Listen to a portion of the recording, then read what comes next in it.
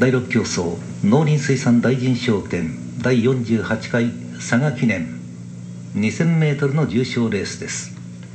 2コーナー後方ポケット部分でのゲートインです。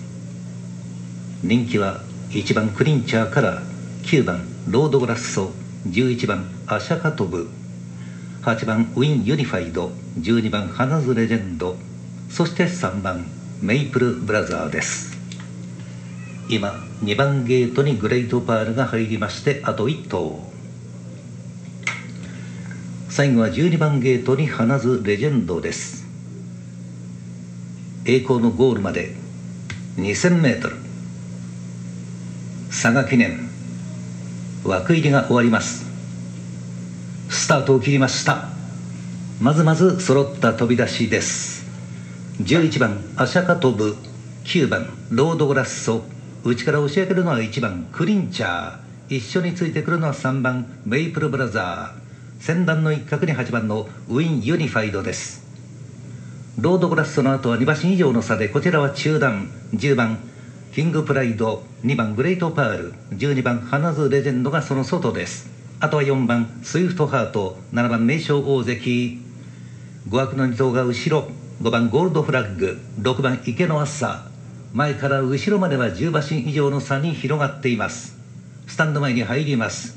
1番クリンチャー。逃げる競馬は久しぶり。1馬身半のリード。そして3番メイプルブラザーです。メイプルブラザーのすぐ後ろは8番ウィンユニファイド。11番アシャカトブ。間があって9番ロードグラッソ単独5投目。その後ろに12番花ズレジェンド10番キングプライド1コーナーのカーブ相変わらず縦に長い隊列です。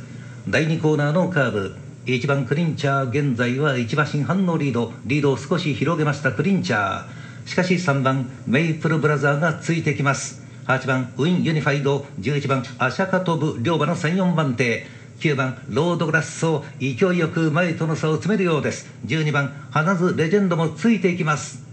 離れた中段に10番キングプライドと2番グレートパールがおりますが両馬でも先頭から現在もう7、8馬身差離されました。4コーナーのカーブ。1番クリンチャーはまだ先頭1馬身半のリード。リードを保って4コーナーのカーブクリンチャー。そして11番アシャカトブ外に9番のロードゴラッソ。両馬並んで2番手3番手。そして12番のハナズレジェンドも取り付いて2番手集団が広がった。残り100を切って堂々と1番クリンチャー7馬身のリード。2着は誰だ？3頭広がりそうだ。クリンチャーは圧勝2着は果たして11番アシャカトブか12番花ズレジェンドか9番ロードグラッソか。